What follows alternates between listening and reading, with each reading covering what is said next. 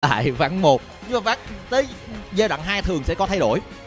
Tức là giai đoạn 2 là cái giai đoạn mà hai đội sẽ điều chỉnh lại cái khung của mình để coi là có cái gì cần phải điều chỉnh hay không.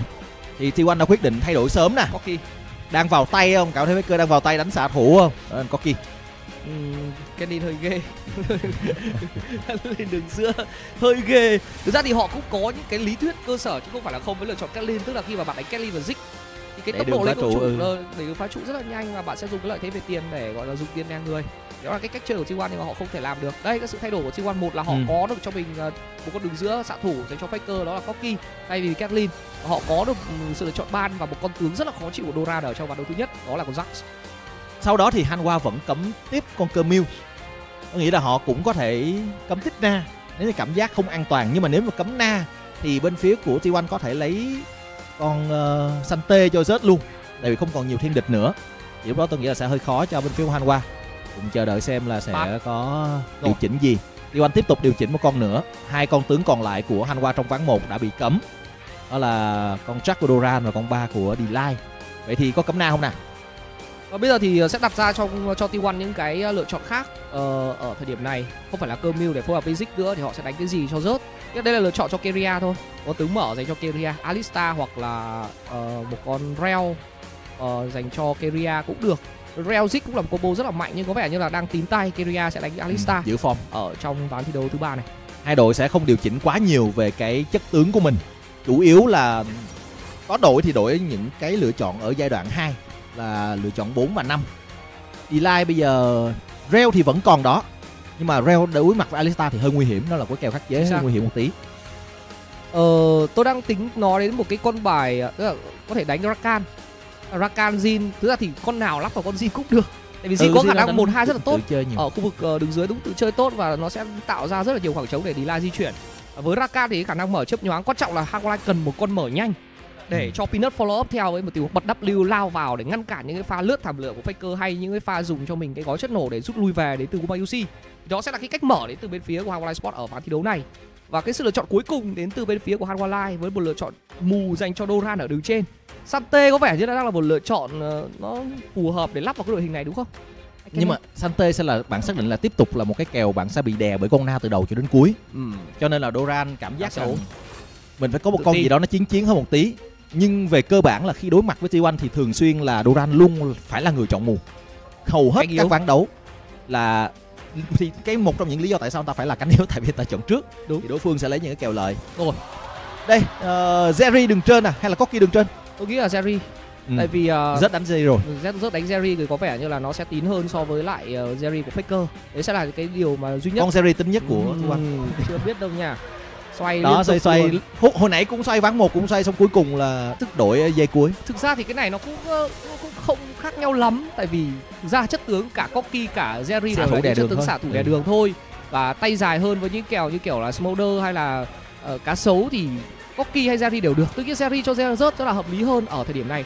Và T1 họ đã có những sự chuẩn bị nhá. Tôi tin rằng kể cả là cá sấu, cờ Sante hay bất cứ một con tướng gì đấu sĩ được tay ngắn ở đường trên dành cho Doran thì nó sẽ là một lựa chọn xạ thủ dành cho Zeus. các bạn là như vậy tại vì anh ta là người được chọn cuối mà. Làm sao để có được cái kèo khắc chế là điều quan trọng nhất dành cho rớt trong cuộc đối đầu với lại Dura thì T1 sẽ triển khai đội hình hai xạ thủ và Zik đội hình này thì nó sẽ không quá mạnh về khả năng giao tranh 5 năm. Nhưng nếu họ có thể xây dựng tiền đề từ giai đoạn đi đường và dùng cái lượng tiền đó dùng con Zik để tiếp tục làm những gì họ đã làm ở trong ván đấu thứ nhất thì nó sẽ khó khăn cho Hanwha Sport tiếp theo là từ bên phía của Hanwha lại là câu chuyện nuôi rồng. Họ có hai ván ván đầu thành công.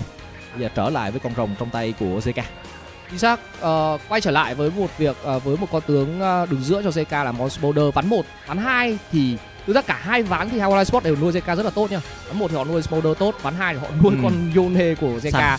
cũng rất xanh và trở thành một mối đe dọa thực sự là một tiềm tàng của T1 ở đường cánh và nó khiến cho cái đội hình của T1 rất là khó để có thể công trụ.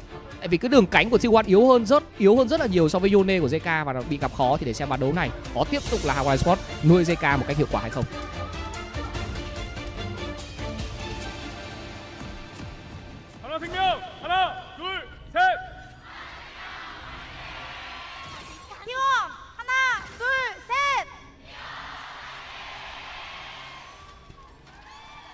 Ván thi đấu bản lề giữa T1 và Hanwha Sport đã chính thức bắt đầu với Hanwha trở về bên phía đội 1 và T1 bên phía đội 2.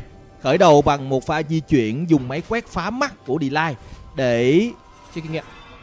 lấy lợi thế hay nói chính xác hơn là đảm bảo rằng Doran không bị rớt đè quá nhiều ở cánh trên chỉ là không đè quá nhiều thôi chứ thua thì vẫn thua Thực ra thì có mắt đấy là một câu đối chuyện Đồng ý với ý kiến của anh Luân là ờ, có mắt đấy sẽ giúp cho Doran ờ, có mắt ở trong bụi thì ờ, rớt sẽ dễ chơi hơn với kèo tay Ừ. ngắn tay dài này và cái thứ hai là sẽ chống việc đảo đường là bên phía của T1 đang muốn biết xem là đối phương có đảo đường hay không để đánh với cái cái, cái à, đội hình xoay quanh Zik này của Guma UC ở trong giai đoạn ban đầu. Thì câu trả lời của Hawaii Sport là họ sẽ không đảo đường. Họ đã bị lộ hình với việc là Rakan của Delay phá mắt và lượng kinh nghiệm được chia dành cho Doran để anh ta sẽ là người lên cấp độ 2 trước so với lại rớt ở khu vực đường đơn nha. Còn vòng dừng đến từ vị trí của Peanut. Với một con Poppy thì bạn sẽ cần phải có một cái vòng dừng đột biến. Nếu bạn đánh 6 bãi farm an toàn với Sejuani thì sẽ không phải là một con Poppy có được áp lực ở khoảng thời gian ban đầu thì lượng sát thương của Corki nó sẽ nhỉnh hơn so với lại con Smolder của JK Anwa quyết định tạt ngang ở khu vực cánh dưới sau khi hỗ trợ rừng nhưng mà cũng không bắt được một tình huống dân cao của Keria vẫn lui về được phát đạn thứ tư Viper vừa tặng cho Kumayoshi cái thứ mà bên phía T1 cần phải điều chỉnh ở khu vực đường dưới á, là ván đấu đầu tiên khi họ đánh cặp boss đường dưới họ không lấy được lớp giáp trụ nào ừ. thì họ cần phải điều chỉnh cái khả năng đi đường của Gumayusi Keria ở bên phía đội 2 chỗ này nè. Khó đấy tại vì uh, Jin làm con tướng ờ, phòng ngự đường rất là tốt. Ừ. bạn dùng nét vẽ tầm xa bạn dùng ờ, những cái lựu đạn nhảy múa để bạn farm mà bây giờ trông Viper đứng trên lính à, hai viên thứ tư vào người của Bayushi mà mất rất là nhiều máu dành cho xạ thủ của T1 rồi. Thì liệu T1 có cái bài toán giải gì với cái việc phòng ngự tốt ở cánh dưới này dành cho Hagolai không? Thậm chí là họ đang muốn tấn công. Và Keria mất rất nhiều máu và tình huống này thì bấm bê về nhà thôi. Tôi nghĩ là nên về, tại vì với lượng máu này ở lại thì nhìn nó hơi ghê ghê. Có một cái hướng Binet đang có ý định bước xuống khu vực cánh dưới, tại vì anh ta thấy rằng đối phương vừa mất người. Và lính đang tràn trụ, Binet vẫn còn trừng phạt để có thể cạnh tranh ở khu vực bùa xanh. Và đó là lý do tại sao mà chúng ta đang thấy đội trưởng của Hanwha Sport đang đi tìm kiếm Honor. Honor cũng cảm nhận được nguy hiểm, anh ta không đứng ở bùa xanh, mà lui về phía khu vực cốc của mình để dễ dàng phòng ngự. Gumayoshi đang thấp năng lượng giết thấp năng lượng thì hơi khó để gây sát thương đúng không? Đây sẽ là một tình huống giống hệt như ở ván đấu thứ hai mà T1 gây áp lực vào con cóc của uh, Sport. Và đây là cái câu đáp trả của Hangwai thôi nét vẽ trồng vào giữ chân Gumayoshi đang là những cái tình huống dùng kỹ năng định hướng rất tốt của Viper và nó khiến cho cặp đôi đứng dưới của T1 gặp vấn đề. Và pha trao đổi này thì Honor ít nhất là anh ta sẽ mất cóc vẫn có được cho mình cái trừng phạt để có thể giữ lại con bù xanh đây là hai người của Hangwai Sport và Dila sẽ tấn công thẳng vào mặt Honor đấy. Tôi tin là như vậy. Trừng phạt kịp không đây? Hất tùng giữ trần quá nhiều hiệu ứng. Honor tốc biến đi, vẫn bị hất tùng thêm lần nữa bởi không tay lại chuyển và chiến công đầu dành cho Peanut. Một pha tấn công như sách giáo khoa đến từ Hangwai Sport ở cánh dưới. Hanwha đã có rất nhiều thời gian để vẽ kế hoạch cho pha tấn công đó và cái pha thực hiện của họ vẽ là một chuyện thực hiện nét đến mức nào. Thì Hanwha cũng không có một vết xước nào trong việc thực hành một cái cú combo để có thể dứt điểm honor biết là cái bất khả kháng cự rất là nhạy của Peanut. Chính xác, cái W thực sự là chí mạng của Peanut. Khi mà anh ta ngắt được cái quy của Honor, không cho Honor rút lui về với pha sử dụng tốc biến, và người chơi đi rừng của T1 mất bãi quái vật rừng, mất hai bùa lợi, và bây giờ mất cả mạng nữa. Không có tốc biến, chạy vòng ra khu vực đường giữa để có thể giúp cho Faker đẩy một quê lính động thái này của Honor đã bị phát hiện tầm nhìn. JK chỉ đơn giản là rút lui và thôi. Honor vẫn sẽ giữ được con cua ở nửa trên, nơi mà rớt vẫn đang có được một chút ưu thế ở kèo tay, ngắn tay dài so với lại Doran ở bên phía đối diện. Nhưng những cái sự thua thiệt là có một vòng rừng với ba bãi và chạy thẳng sang rừng của đối phương đột biến đến từ Peanut. Đây là cái đoạn khó cho bên phía của bản thân của honor, tại vì với việc đã bị đối phương làm chậm nhịp rừng, một con Sioni mà không có được cấp độ 6 sớm, nó sẽ khá là áp lực anh ta quyết định rằng thuận đường công tác nhìn thấy Zed đang làm mềm được Doran sẽ có mặt ở cánh trên. Nhưng mà. Doran. Đang gọi Binet tới. Doran vẫn còn tốc biến. Trụ bắn honor phát đầu tiên Binet đã tới và sẽ không có thêm những áp lực. À tôi nói hơi sớm. Siwan kéo thêm cả Faker với Keria di chuyển lên. Tình huống W vừa rồi chưa tới tầm Honor dính hai hit trụ không có gì xảy ra cả. Đợt lính đã tới Faker bắt buộc phải rút lui về với pha ở lại đường và đẩy đến từ JK cũng có sự có mặt của Delay luôn. Đây chúng ta cùng nhìn lại trong hiệu ứng thế này thì cũng đỡ được thật. Ủi vai tốc biến dính cường sau đó là hất tung thêm nét vẽ trồng vào nữa. Quá nhiều thứ. Honor mất tốc biến trước đó anh ta cũng đã tỉnh khi mà không quy sớm. Dùng cái tốc biến trước để ra cách cự ly nhưng mà Peanut vẫn đủ bước tầm bước. để có thể dùng cái không thể lay chuyển. Và người chơi đi rừng bên phía T1 nằm xuống một pha xâm lăng rừng. Quá thành công đến từ Han Wallai và lợi thế cánh dưới cũng đang thuộc về họ với chỉ số lính dẫn trước của Viper. pha đó là không có dễ nha tại vì Eli cầm cho mình cái hộ vệ và hồi máu tức là sẽ không có nhiều sát thương đến từ con Rakan, không có sát thương thiêu đốt. Cho nên là nếu như không làm đúng pha đó thì rất nhiều khả năng là họ sẽ đầu tư bị lỗ khi không dứt điểm đâu, anh ơi. Giờ đây thì mọi thứ, sau khi đã có cái lợi thế ban đầu đó thì tất nhiên là Hanwha sẽ chơi theo kiểu rất là chậm. Họ đánh Smolder mà. Ừ. không có gì phải vội cả tại vì họ đã câu được giờ rồi, câu được giờ ở đây là cái gì? Là cái kinh nghiệm của honor á. Honor sẽ rất chậm để lên cấp độ 6 và khi honor chưa có bola băng, thì quan sẽ chưa thể triển khai được với những mục tiêu ở cánh trên. Trong khi đó thì peanut với lợi thế là anh ta có được một mạng hạ gục. Thì anh ta đang muốn triển khai lần sâu không đầu tiên với khả năng đẩy tốt hơn của JK đi lai gây áp lực để giúp cho Smolder của JK đẩy trước so với lại Faker. Faker không dịch chuyển nữa, máu đang thấp, không thể tấn công được. Đi lai còn tốc biến, có điều nhảy tiếp viện và anh ta đứng rất cao để có thể uh, khiến cho Honor cần phải rút lui về. Còn cánh trên thì đơn giản là một tình huống triển khai sâu thành công bật chiêu cuối từ Doran muốn để có thể câu thêm chiêu cuối của rớt nhưng bất thành. Việc mà vừa rồi Delay đã nhanh chóng xuống cánh dưới là để lấy thông tin và áp lực để chắc chắn rằng Honor không đổi được mục tiêu. Và nó khá giống như ván đấu thứ nhất khi mà sâu thuộc về Hanwha Sport lại là cái thế tam giác ở đường giữa. Nhưng mà lần này nó đã có sự khác biệt. Kera đang đứng để bảo kê cho Faker ngay sau lưng. Binat từ phía sau lao tới nhưng có Kera thì chắc chắn không băng trụ được. Keria cũng đã có một pha uh, đọc được cái tình huống di chuyển của Peanut rất là tốt sau pha xử xử lý sâu. Giống giống ván một đúng không? Ừ y chang. hệt luôn không đọc là, được thì là hơi tệ. Tức là report của T1 dở ở trong backroom nhưng mà họ có thông tin và họ cũng đã có được cho mình những cái feedback tốt sau ván đấu thứ nhất. Và pha triển khai vừa rồi đến từ vị trí của Keria giúp cho Faker vẫn đang đảm bảo được cái tính mạng của mình ở một cái trạng thái an toàn. Không mất tốc biến. Nhưng Hanwha Sport họ cứ chiêu chiêu thôi ăn ba sâu xong, ăn ra ra, ăn rồng, bởi vì Viper vẫn đang là người đẩy tốt hơn so với Zik của Guma UC và lại là cái thế mà T1 pick Zik nhưng đang chưa có được áp lực đi được. Và Hanwha thì bây giờ nó lại, cái thế này là cái thế rất là nguy hiểm cho trên của T1 nha. Tôi không biết là họ có cái giải pháp nào hay không, nhưng mà ít nhất là về mặt chất tướng đã có sự khác biệt. Tại vì với Jerry thì hỏa lực của T1 nó cũng đã nhiều hơn. Nếu như mà khoảng cách về tiền giữa hai đội không phải là quá nhiều, thì thực ra cái cách mà giao tranh diễn ra ở ván đấu thứ ba này nó sẽ khác rất nhiều so với ván đấu thứ nhất. Cái, cái kèo đấu đường trên nhưng mà bù lại một cái là ở đường trên cái kèo này với con na thì rớt sẽ làm tốt hơn so với lại con Jerry ở thời điểm bắn bắn thi đấu thứ ba này. Bắn đầu tiên chúng ta thấy được rằng là Doran bị gáp rất là nhiều về lính. Ừ. anh ta đánh với kèo thua và anh ta bị gáp cực kỳ nhiều lính so với lại uh, rớt ở bên phía bên kia. Đâu đó khoảng bốn chục năm chục lính sau đó lại đường cơ. Nhưng ở thời điểm này thậm chí người đang farm tốt hơn Doran đón được lính này thì anh ta sẽ farm tốt hơn so với lại uh, rớt ở bên phía đối diện. Và T1 cần phải có những sự thay đổi và sự thay đổi của họ đến từ tình huống Swapland nhanh lên cánh trên. Nhưng Han Walai đón đầu luôn với pha đảo đường ngược trở lại lên cánh trên để gây áp lực cũng như phòng ngự uh, lượng giáp trụ ở cánh trên khi mà Guma đang di chuyển cùng với lại Keria lên đây. Chính xác là Hanwha đàn đội đã chủ động di chuyển rất là sớm trong cái việc đảo đường này. Sau khi họ lấy được sâu thì Tiêu Anh cũng có câu trả lời của mình ngay lập tức nhưng bởi vì họ đã chậm hơn một nhịp thì chắc chắn là sẽ có cái ưu thế về mặt nhịp độ của bên phía Hanwha Sport liên tục ở trong những pha xoay sắp tới. Họ sẽ xoay lại một lần nữa. Ừ. ở trong cái pha biến về này. Còn nói về nhịp độ thì tới thời điểm hiện tại Honor vẫn đang cố gắng bám theo cái nhịp độ của Binet sau pha xâm lăng đầu tiên đó. Ít nhất bây giờ anh ta đã có cấp 6 anh ta đã có tốc biến. Là một cái tiền đề cho T1 có thể suy nghĩ về việc cạnh tranh. Và không phải là suy nghĩ. Họ nên rút kinh nghiệm ván một là nên cạnh tranh sâu hai Sâu 2 thì đánh nhau thế nào ta? Đội hình của T1 có Sejuani với siêu bom địa ngục Alistar combo nhưng bên phía bên kia thì cái khả năng trồng chiêu đặc biệt là thần cá sấu của Doran là những cái mối đe dọa tiềm tàng với đội hình cực kỳ là giấy của T1.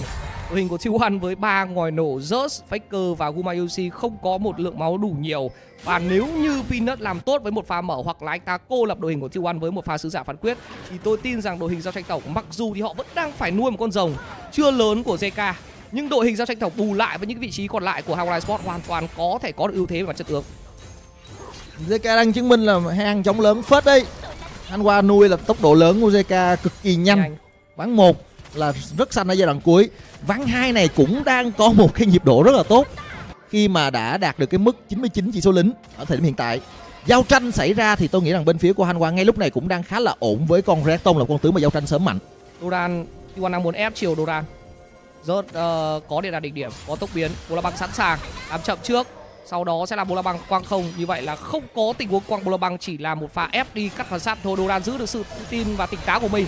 Còn faker đang bị dính gùi vai rất nhiều hiệu ứng vào. Faker không tỉnh được. À không anh ta vẫn kịp tỉnh tốc biến rút lui về.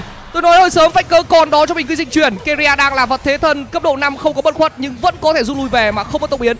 Đó là một tình huống mà con Rakan cầm hồi mẫu. Nó bị thiếu sát thương. Ừ. chứ cái phần chồng cc của bên phía Hanwha Sport nó là tuyệt vời rồi. Không có điểm hạ gục dành cho họ nhưng họ đẩy được Faker ra. Faker sẽ bấm B về nhà. Anh ta đang có ý định dịch chuyển ra. Honor đang di chuyển tới. Họ biết rằng Hanwha đang thiếu tài nguyên Faker sẽ dịch chuyển ra ngay kế bên đội hình của mình. Họ bắt đầu tiến vào, điện ảnh để điểm được kích hoạt. Nhưng Z đang bị tất cả mọi thứ dồn vào. ZK gọi mẹ, Z tốc biến đi với một chấm mẫu. Nhưng Honor phải là người ở lại siêu bom địa ngục gây rất nhiều sát thương. Nhưng Hành Hoa đang đánh chung với nhau về phía cánh trên. ZK nhìn thấy Z và khạc dứt điểm thành công. Hành Hoa lại tiếp tục di chuyển thành một hướng. Họ tìm được Keria, Người đang không có góc để mở vào nhiều người. Faker cũng cực kỳ thấp máu, không có tốc biến. Keria phải ở lại để cho đồng đội của mình được sống. Đó là ba mạng hạ gục chưa phải là ba, sẽ là bốn cho Hanwha Esports khi mà Faker nằm xuống JK có double kill. Vẫn là một con smolder được nuôi và vẫn là JK được chăm sóc bởi các thành viên bên phía của Hoàng Sport họ nuôi con rồng này quá tốt. 3-1 với một tình huống giao tranh như tôi đã đề cập. Đội của T1 không phải là một đội đánh sớm được. Những cái combo của họ trồng nó không thực sự là tốt. Vô la băng rồi thì siêu bom địa ngục, mặc dù là nhiều người đấy nhưng cái lượng trang bị này của Gumayushi nó là chưa đủ. Và cái đội hình bên phía T1 vẫn là đội hình hai xạ thủ. Honor giữ lại được một sâu nhưng vẫn là năm sâu không dành cho bên phía của Hanwha với lợi thế. Quan trọng là Hanwha ngăn cản được combo Zik và sâu không đến từ bên phía của T1 và họ lại còn có cả mạng nữa cơ. Mặc dù Hanwha đã mất rất nhiều tài nguyên sau tình huống bắt Faker trước đó nhưng mà sự gắn kết trong giao tranh của Hanwha, các bạn hãy nhìn cái cách mà một nhịp của họ lao vào tấn công Zed, loại Zed ra khỏi giao tranh ngay lập tức. Sau đó đội hình của họ thi đấu đúng một khối với nhau, năm người tiến lùi như một. Jack, đây là khả năng giao tranh tốt hơn. Và như đã đề cập thì cái chất tướng bên phía của Hawkeye Sport cũng mạnh hơn nữa với Poppy và với Rayton họ hoàn toàn không ngại và thậm chí là bây giờ đang có một tình huống mà vừa bị bắt lại là Zeus Rớt đang bị đuổi bởi Peanut và Viper. Anh ta không có tốc biến nhưng đã hết đạn rồi. Và Viper sẽ cần phải rút lui về cùng với Peanut Phản công đến từ bên phía của T1 Honor tới nhưng chưa hồi lại Bola bằng Nhưng đây là sân nhà của T1 Họ vẫn đang muốn giao tranh hất tung hai người đến từ vị trí của Keria. Nhưng sát thương đâu? Sát thương vẫn đang thiếu đến từ T1 Họ vẫn chưa đủ đam nào của Peanut. Xúc điện cao thế Rớt là người ăn mạng. Tiếp tục đánh tiến lên đến từ bên phía của T1 Khi họ đã hạ gục được một con tướng chống chịu Hoàng Wildlife Sport rồi nhưng câu trả lời là Han Wildlife cũng đẩy người lên để ép lui các thành viên bên phía của T1 và chỉ dừng lại ở một mạng gỡ dành cho T1 mà thôi. Đang có sân khấu nhưng mà Viper đã không tìm được rớt ở trong pha này. Đường trên của T1 vẫn đang sống với khoảng chừng 500 máu và tiếp tục có mặt để có thể farm ở khu vực cánh trên. Trong khi đó thì ở khu vực đường giữa đây là cuộc thi farm.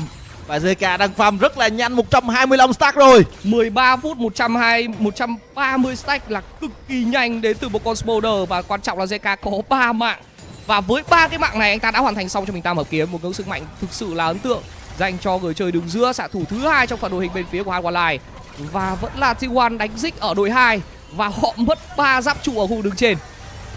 Áp lực rất là lớn. Hình như là Zed vẫn đang bị giữ chân lại bằng một nét vẽ của Viper và chưa thể về được. Cái nhịp độ thi đấu này, Hanwha bây giờ họ sẽ ở vào thế rất là thoải mái. Họ thích đánh thì họ đánh họ không thích đánh thì họ cứ chậm lại để có thể chờ đợi con Smolder của mình. Bởi vì lợi thế đang nằm trong tay họ rất là rõ rồi. Và bây giờ là tình huống mà Honor bị ủi vai. Tiếp tục là bốn chấn động, gõ là tương đối đau, có tăng tốc pha giữ cự ly khá là khó chịu đến từ Peanut. W ngược trở lại, sát thương trả ngược trở lại, nhưng mà Doran có thần cá sấu anh ta bơi thẳng vào Faker cũng như là Honor. Mất cực kỳ là nhiều máu, có bola bằng nhưng chưa quăng đến từ Honor. Anh ta lấy được cái chung cuối của Doran, nhưng mà con heo này của Honor đi đâu đây? Triệu hồi chiều cuối đến từ JK bola băng quăng thẳng vào nhưng bị đẩy ra, Honor không có đủ lượng chống chịu. Anh ta nằm xuống mạng thứ tư dành cho JK câu trả lời đến từ bên phía Otiwan là họ sẽ muốn gỡ cái trụ ở khu đường trên nhưng vẫn sẽ là trụ đổi trụ mà thôi. Chương trình nuôi em của Hàn Sport thực sự đang được vận hành tới từng chi tiết nhỏ nhất một cách cực kỳ thành công. JK đang 143 chỉ số lĩnh 144 sẽ lên 148 rất là nhanh và anh ta vẫn đang là người xanh nhất của bảng đấu với tổng cộng là 4 điểm. Hạ gục con rồng này bây giờ ngay lúc này, phút 15 thôi nó đã không còn là tiểu hỏa long nữa. Nó là một con rồng rất là khỏe. Area ra cắm mắt. T1 có động thái gì không? Họ không có dịch chuyển nào cả. T1 đang thiếu người. Rớt bây giờ mới bấm bê về nhà. Doran ở cánh trên, có dịch chuyển. Nếu như đánh nhau thì Hawaii Sport hoàn toàn là sẵn sàng với một tình huống lao vào với các thành viên bên phía T1 mà thôi và T1 để bỏ mất con rồng nguyên tố thứ hai vào tay của Peanut. Ui rồng lửa tiếp. Tiếp tục là một linh hồn rồng lửa với một kèo đấu BO Nam thực sự là cháy và ván đấu này thì Hawkeye Sport đang cầm trịch nó. Chúng ta cùng xem lại một tình huống đường trên khi mà Viper đã phải mất tốc biến sau khi bị ba thành viên của T1 quay. Guma Yushi nhảy tới điện đặt đỉnh điểm và Guma là người ăn được mạng trong pha đó. Có thêm một mạng nữa cho bên phía của T1 nhưng cái vấn đề chính ở đây không phải là Viper Viper nằm số một hai mạng nữa vẫn ok không vấn đề gì cả sát thương á. của bên phía Sport nó nằm hết ở JK rồi. JK đang quá mạnh 4-0 với một con Smolder ở ngay thời điểm phút thứ 15 Tham người đá kìa, nhiều stack lắm đó. Tất cả tài nguyên ở thời điểm này Tôi không nghĩ là người chỉ có người đá đâu anh Lưu ạ. Chim gì tầm này thì người bùa đỏ các thứ là của JK hết. Tất cả tránh ra để em farm. JK em Linh sẽ nói như vậy với lại Trong thành 61 viên rồi, phía nhìn- đồng hồ nó cứ nhảy nhảy số này nó nhảy. Kiểu đúng kiểu bom hẹn giờ. Gọi là đúng là như farm vượt thời gian luôn rồi với cái đội tại của JK ở ván thi đấu thứ ba này. Còn T1 cái đội hình của họ thực ra là đội hình của T1 cũng là một đội hình đánh late game. Họ có Mạnh, tới ba nguồn sát thương họ có tới ba mũi nhọn ở ván đấu này. Nhưng dù sao dù gì thì gì Dích bạn vẫn sẽ phải cần phải có giáp trụ bạn vẫn sẽ cần phải có mục tiêu ở trong giai đoạn early game đặc biệt là sâu. Thì T1 đã fail rồi. Bây giờ đến sứ giả. Năm sâu cộng sứ giả. Thì Hanwha Sport sẽ cực kỳ là áp lực đặc biệt là cái trụ đường giữa đang còn bỏ ngỏ của T1 Faker vẫn đang chưa dịch chuyển vẫn chưa dịch chuyển Bolo băng tung vào đã có dịch chuyển nhưng sứ giả vẫn dành cho Hanwha Sport chưa có ai nhặt thân cá sấu được kích hoạt. Mẹ được gọi JK đang lưu nhẹ ra một chút xíu anh ta tìm thấy mục tiêu là Keria. Phía bên này thì Duran cũng tốc biến bỏ chạy hai bên chưa bên nào nằm xuống. Nét vẽ trúng. Venus đã quay lại nhặt sứ giả còn Keria thì đang ở phần sân của Hanwha Sport đường về của anh ta hơi xa một tí và pha này sát thương đã có rồi thì không thể tự hủy được. Vấn đề là JK, JK. có được ăn hay không? Và câu trả lời là có. 5-0 dành cho một con Smolder và những cái cách mà bên phía Alkaline Sport lùa. Họ lùa cho Alistar đi đúng cái đường mà JK anh ta đón đầu. Và pha đấy thì có đi đường nào thì cũng nằm xuống mà thôi. Điểm hạ gục thứ năm dành cho đường giữa của Alkaline Sport một con Smolder vừa có mạng vừa có stack farm. Rất khó dành cho T1 nha cái quả bom nổ chậm này. Nó đang tích tắc tích tắc và nó cảm giác là nó đếm số nhanh quá. Nổ rồi chỉ chậm gì nữa đây không phải là bom nổ chậm các bạn ơi bom này vào vào nổ luôn cú bốn mạng rồi. Trụ ờ, thứ hai cho Hanwha Sport. JK cũng là người đang hưởng trọn được lính và cả trụ phía trên này. 8.300 vàng tiền tổng anh Uh, luôn bây giờ bây giờ chỉ có JK chết chay đầu giao tranh thì Ừ. T1 mới có cơ hội. Tôi nghĩ là như vậy đó. Tức là bộ bô la băng này là siêu bom địa ngục xong combo Keria vào hất tung gọi là không kịp ngáp đến từ CK bốn thành viên còn lại của Hanwha đang chơi tốc chiến thì đấy- ừ, chơi tốc chiến ở đâu? Thì đó rất khó dành cho T1 ở thời điểm này khi mà bên phía của Hawaii Sport nuôi một con Smolder thực sự là uy tín. Và tình huống đẩy vào với sứ giả của họ chắc chắn sẽ là trụ và thôi còn dịch không đủ sức phòng ngự Smolder triệu hồi chiêu cuối ra để chắc chắn 100% rằng Hawaii Sport sẽ có được cái trụ này. Minus giữ cái xe lại. Và họ rút lui với lại pha lái tàu điện của Peanut thôi. Minus không cái xe này vẫn còn có giá trị. Lái xe đi ra phía sau. Deny 25 vàng của T1 quan trọng là anh ta về hứng. về người đá farm tiếp cho nhanh. Ừ.